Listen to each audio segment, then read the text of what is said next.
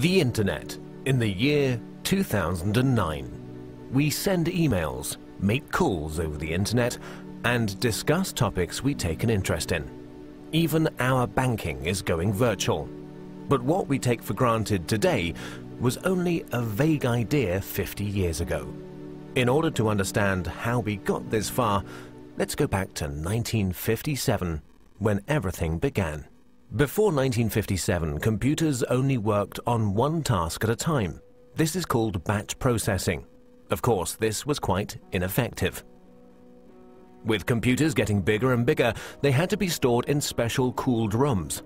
But then the developers couldn't work directly on the computers anymore. Specialists had to be called in to connect them. Programming at that time meant a lot of manual work and the indirect connection to the computers led to a lot of bugs, wasting time and fraying the developers' nerves. The year 1957 marked a big change. A remote connection had to be installed so that the developers could work directly on the computers. At the same time, the idea of time sharing came up. This is the first concept in computer technology to share the processing power of one computer with multiple users.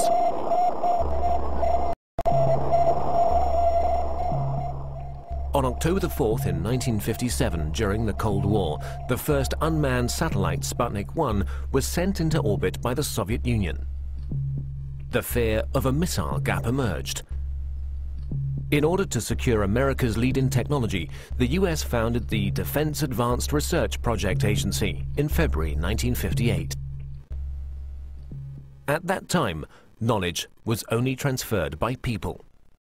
The DARPA planned a large-scale computer network in order to accelerate knowledge transfer and avoid the doubling up of already existing research. This network would become the ARPANET. Furthermore, three other concepts were to be developed which are fundamental for the history of the Internet. The concept of a military network by the RAND Corporation in America. The commercial network of the National Physical Laboratory in England and the scientific network Cyclades in France. The scientific, military, and commercial approaches of these concepts are the foundations for our modern internet. Let's begin with the ARPANET, the most familiar of these networks. Its development began in 1966. Universities were generally quite cautious about sharing their computers, Therefore, small computers were put in front of the mainframe. This computer, the Interface Message Processor, took over control of the network activities, while the mainframe was only in charge of the initialization of programs and data files. At the same time, the IMP also served as interface for the mainframe. Since only the IMPs were interconnected in a network, this was also called IMP subnet.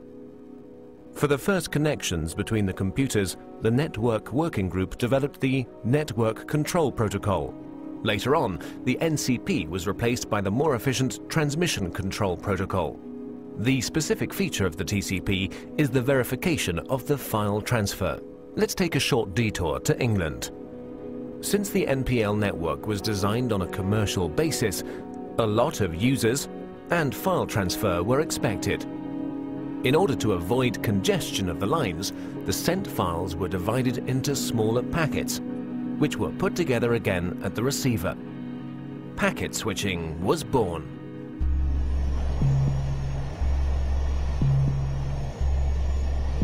In 1962, American Ferret aircraft discovered middle and long-range missiles in Cuba, which were able to reach the United States. This stoked fear of an atomic conflict, at that time, information systems had a centralized network architecture. To avoid breakdown during an attack, a decentralized network architecture had to be developed, which in case of loss of a node, would still be operative. Communication still used to work through radio waves.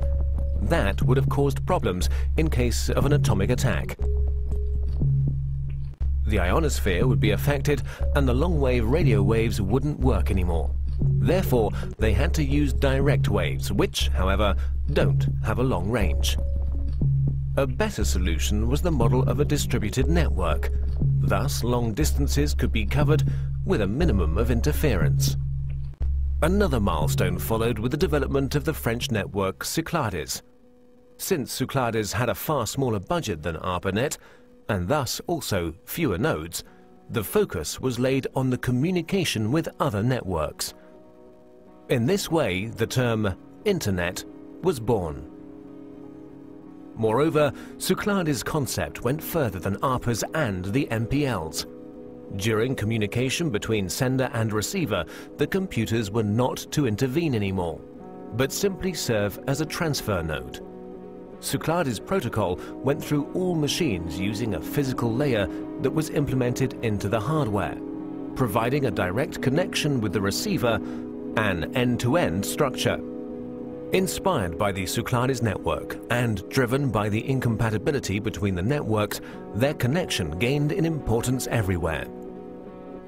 The phone companies developed the X.25 protocol, which enabled communication through their servers, in exchange for a monthly basic charge, of course.